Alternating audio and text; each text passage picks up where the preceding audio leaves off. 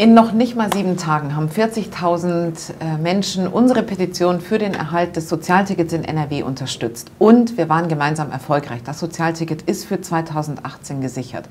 Dafür ein Riesendank an euch. Ihr könnt euch darauf verlassen, wir als NRW-Grüne werden in den Folgejahren genau gucken, was CDU und FDP planen. Und wir werden uns weiter dafür einsetzen, dass bezahlbare Mobilität für alle erhalten bleibt. Es ist gut, euch an unserer Seite darin zu wissen. Wir kommen gerne wieder auf euch zu, wenn es brennt. Bis hierhin aber erstmal vielen Dank für den tollen Support, den ihr mit der Unterschrift zu der Petition geleistet habt. Dankeschön.